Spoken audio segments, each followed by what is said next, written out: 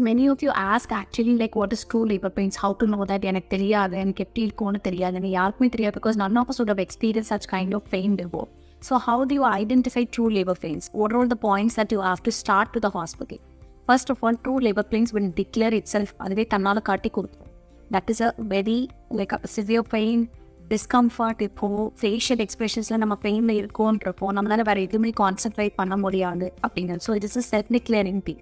usually what happens is the contractions or the tightening of the abdomen which starts in the lower back lower abdomen and the legs will become stronger and stronger and starts developing even up to 90 seconds and it gets closer very close frequency increase ஆகிக்கிட்டே இருக்கும் and sometimes பார்த்தீங்க அப்படின்னா like you will not be able to concentrate on anything else except laboring and cervix would start dilating which will lead to a sensation of increased pressures down